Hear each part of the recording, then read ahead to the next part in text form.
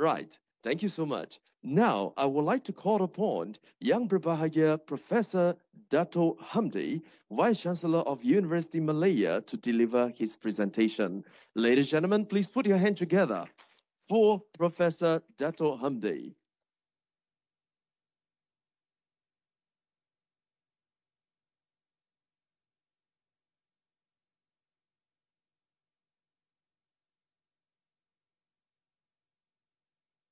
Thank you so much for the uh, yeah. Thanks for the uh, chance for me to stand in front of you. It's a great honor, though. I have uh, 20 minutes. Probably I'll try to finish it off in uh, 15, if possible. Um, and then we have a question and answer. Do I have the uh, slides control or no? Oh, you're going to control. Okay. Anyway, um, shall we move on? I think Prof. Chen has already uh, shared with us a lot, and I'm very happy to hear the points that he has already shared with us. I'm trying to contextualize it in Malaysian scenario as much as possible, so that you know we can actually see from our angle more um, relevant to what we are facing at the moment. So there are a couple of new realities. Probably is also applicable to uh, some other countries as well. But as I mentioned, I'm talking within the context of uh, Malaysian education. All right, shall we? Okay, these are some of the uh, challenges that I think uh, we are all aware of. Uh, I'll probably start with the last one, changing funding support for higher education. In terms of the public university, we are really facing and feeling the heat where the government is slowly cutting and, and now um, accelerating the cutting process. And uh, for research universities, five research universities, we are only given the emolument and we have to actually find the rest of the funding in order to stay afloat. So this is quite challenging though, because simply because people like me, a professor in the university, we have been trained to spend, not to generate. And suddenly, being in the chair of a vice chancellor, we have to generate. So that is a total mindset change, and, and we are not, not a businessman. And how much do I have to raise? Well, I have to raise a minimum of 200 million supposed to be 400 million. If I can raise 400 million, I won't be a VC, right? I would have, you know, yeah. The fact that I can't raise 400 million, I'm a vice chancellor. So that's a real challenge that we are facing. And then modern university as a corporate entity. We are now slowly moving to be a corporate entity rather than a higher institution as what we know before. So slowly moving into that direction, thinking like a corporate leader rather than a vice chancellor, an academic leader. You start to have the business acumen install as if you know we have to download all this knowledge uh, quite instantly, and uh, there are lots of competition between the uh, education provider, and we are actually looking at the same market, same market segment, and the competition is going to be more in the future. So it's very hyper sort of uh, uh, competition. Hence, we need to open up the market more attracting international students, start collaborating. Otherwise, we keep on looking at the same market segment, and it might not be uh, might not be sustainable, in fact, in the future. The technology and digitalization has taken us uh, in storm, really. We have never thought that we can teach without students in front of us, and we have done that for the past two years uh, in that lightning speed you know, a lot of our lecturers, you know, professors who are seniors have difficulty initially, but they realize very quickly that they have no choice but to move into the digital spheres, and they move in very, very fast. And now they realize that wow, you know, I can do that without having to be personally present in the class, and the students can be everywhere. That has changed the landscape a lot, and the changing aims, relevance of social inclusion. Previously, we have never heard of, uh, you know, inclusivity. You know, we, we, we don't really mind about that. Now we are talking a lot about that, the gender disparity, you know, the inclusivity. And university are now kind of having to take that into account, uh, which we probably have not done so uh, many years ago. So we are more conscious now of the need of the uh, OKUs, for example. And that's quite a taxing and, and challenging um, task to actually provide for all segments of, uh, of society to be inclusive. Again, higher education as economic force and income. This is very, very crucial. our country, for example, has been relying a lot on foreign investment. And when we say foreign investment, we are looking at primarily the, um, the manufacturing sector, which previously has contributed roughly around 40% of the GDP, now has shrunk to roughly around 21%, 22%, fluctuating around that number.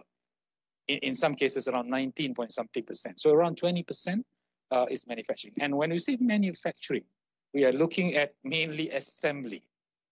Yeah, the uh, foreign investors coming in because of tax incentive, because of the uh, good infrastructure, because of stability, perhaps previously, because of the um, the workforce, young and vibrant workforce, because of the capacity that we have, because of a lot of uh, tax exemption uh, incentives that government gives. But now, a lot other ASEAN countries have already done the same.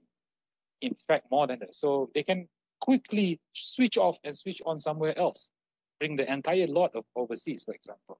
And we are actually left uh, in a lurch and not knowing what to do.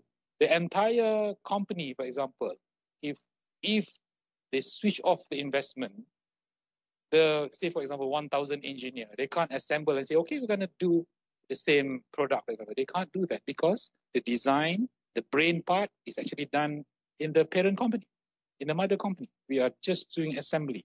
We have been doing assembly for so long. And this has created a lot of uh, issues in the country because we are trapped in the so-called middle, middle income uh, trap and we can't escape from that. And how do we actually overcome this? Actually, through higher education, where we push in innovation and entrepreneurship. That's the way forward. I think Singapore has been doing that for quite a number of years already. They have been championing it, knowing that the financial hub that they have been championing, fighting and, and competing uh, with Hong Kong, for example, for quite some time, is not going to last long because the market segment has probably you know reached the level of saturation. So what do they do? Move on to entrepreneurship, innovation entrepreneurship. Uh, last couple of days, they have reported the you know NUS particularly has reported the eighth uh, uh, unicorn from their students. Unicorn by definition is any any startup that has reached the one billion dollar revenue, no ringgit, dollar. So they have at the moment eight unicorn. The question is how many that Malaysian universities have produced. How many unicorns have we produced? That's a good question mark actually. So the next economic force should come from the university. So it's not just education, but it's actually building capacity and building the GDP in the future. So I think that's where we are going, supposedly. Yeah, so post uh, pandemic, uh, it's opened up a lot of possibilities, and uh, we are all excited, uh, feel challenged at the same time. I think this is, you know, universities all finding, you know, fine tuning what they are doing and trying to see what what what best uh, that we can do in order to prepare ourselves. So uh, for universities to be future ready. Okay. And very quick uh, notes on, on some of the pertinent issues. Number one, the cost of learning can be driven down to zero. Really. People sit at home, they can get uh, education everywhere, and some are free. Some countries are still free. I think we are aware of that. Germany is almost free. French is almost free. They are now rethinking about that. International student may be uh, uh, may be charged, but as of now, it is still almost free. So we can actually enroll and then take courses over there with, with almost, you know, uh, no cost, almost no cost. Secondly, we are made accountable for our results. Previously, we are just churning our students and graduates, and now we have been asked, how much is your graduates getting per month? If they are getting less than 2,000, we are, we are to be blamed.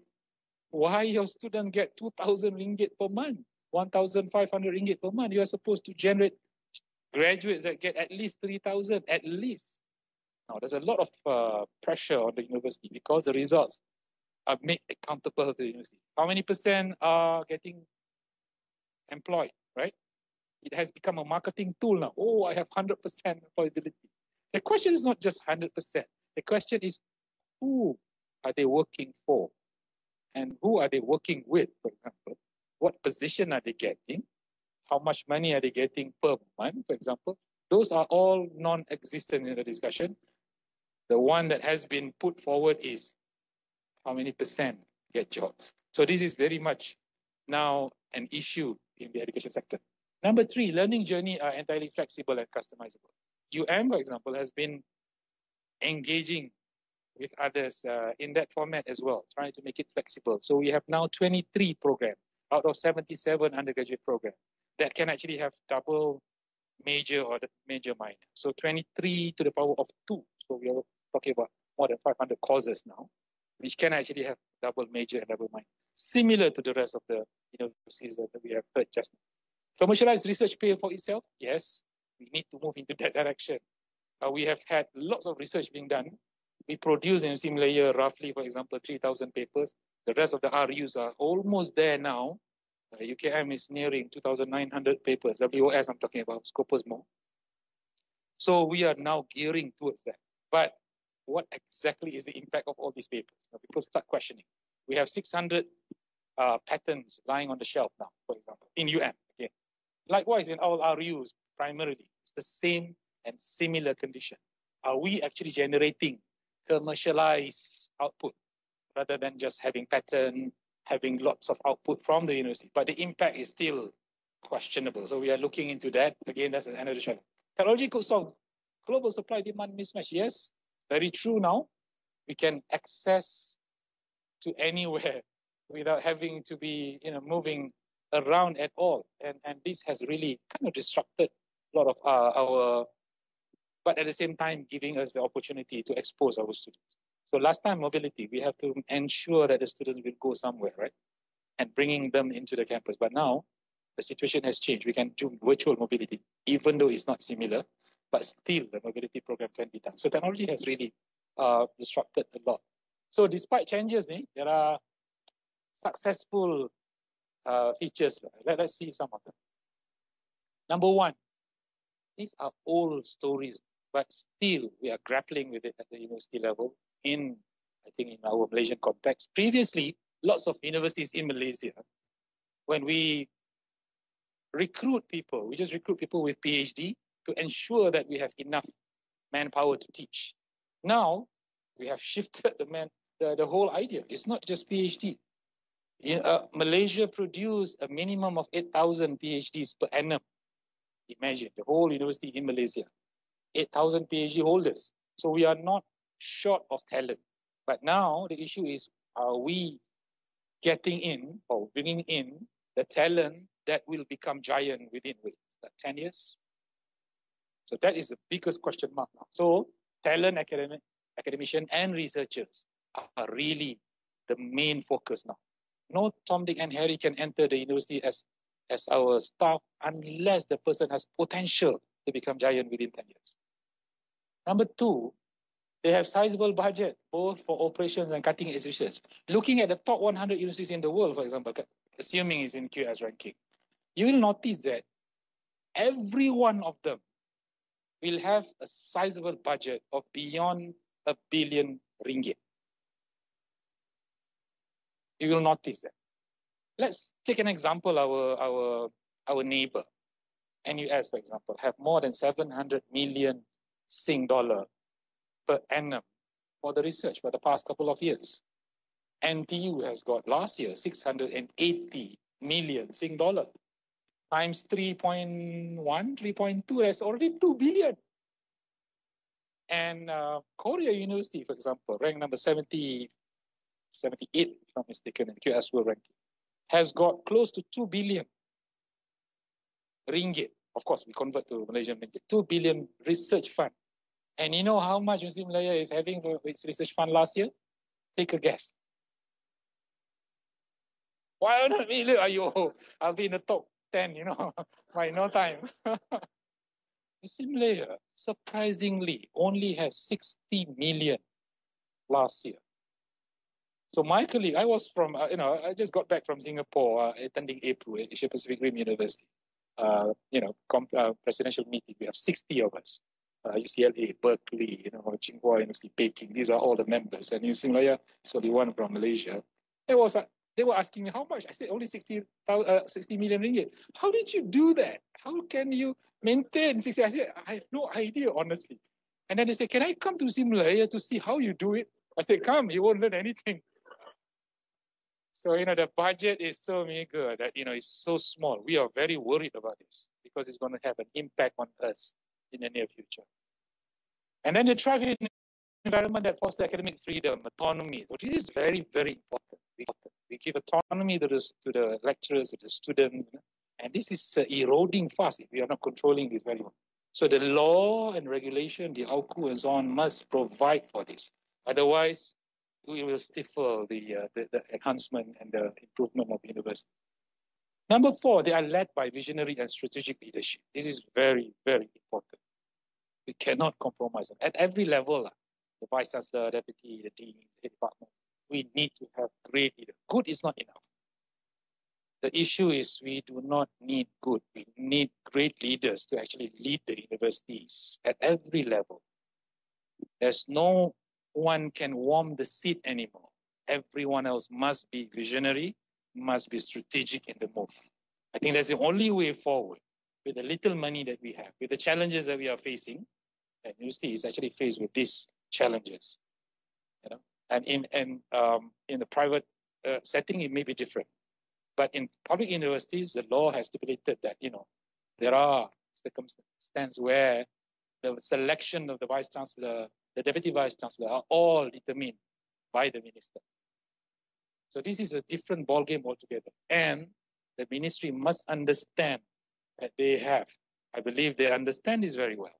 They must pick up those with vision and strategic mind to actually lead the university.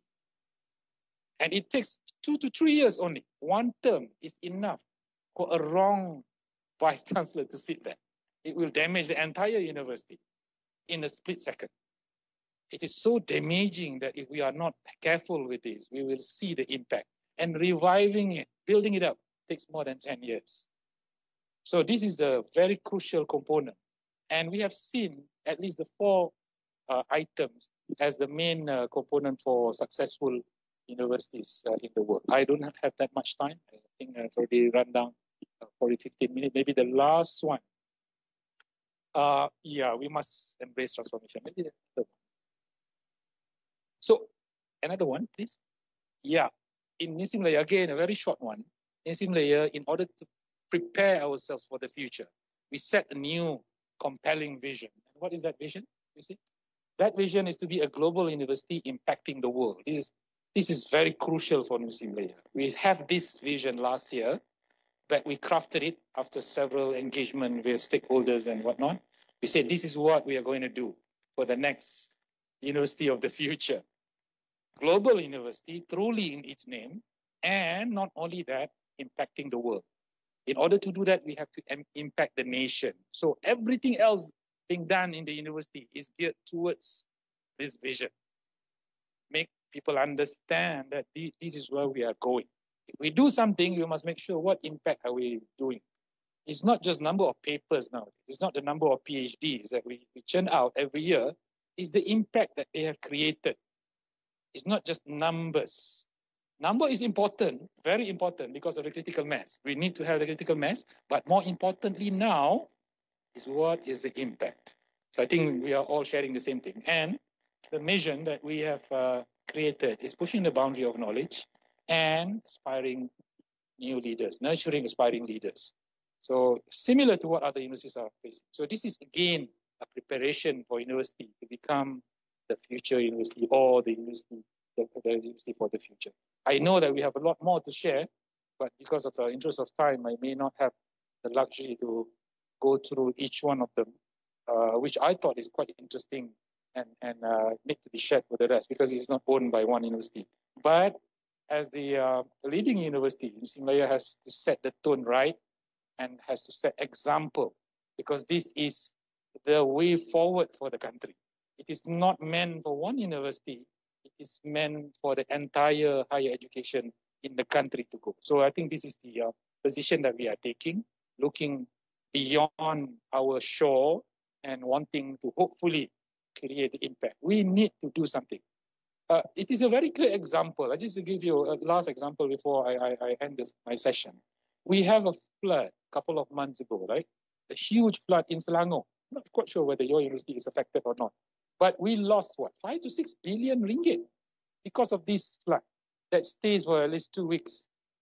The question is, which university that actually sprung up and say, okay, let's you know build capacity, bring up, bring bring in all the experts the subject matter experts in flood, flood mitigation, design, uh, you know, road planner, for example, town planning, our civil engineers, our QS guys, our architect, and propose to solve the problem of Selangor, for example. Losing 5 billion is no joke, man. It's a huge issue. Even when you know we lost 48 people, 48 lives has been lost in the flood. We should not be should happen at all in the first place. So what is the function of university then? We just send our students to clean up houses, right? Is that what we do? Is that all that we do? Where goes all the brains and the you know the experts in in so many fields? Do we actually come up with a consortium and say, okay, this is how we solve the problem, so that it won't happen again? Even though it says that it happened one in hundred years, but it may happen again and again because of the because of the climate change, right? It may happen within the next 10 years. So we have lost another what, 5 billion, 6 billion, another 50 lives lost. Are we going to be facing that challenges again? So this is the thing that I think university has to start thinking along that line, not just educating graduates and students, but think of what is the impact to the to those, you know, uh, to the to the country, to the region, and to the world eventually. So I think this is again, the thing which is now uh, becoming a huge debate in the university, Simlaya particularly, uh, bringing up this issue and people uh, start you know, they start to aggregate and, and start thinking together. We have some funds. If you need the fund, we will only disperse the fund if you manage to prove that there's an impact and you are doing this uh, in a multidisciplinary manner. No one can actually solve this problem. For example, the flood. It requires a lot more than just one faculty or even one department for that sake. So this is again the way forward, in my opinion. The university playing a role in producing impact, either ro- locally or regionally. What more if it's international? And I think this is all the challenge for all of us on how we can deliver this effectively. So again, thank you so much for inviting me. Right. Thank you. Thank you very much.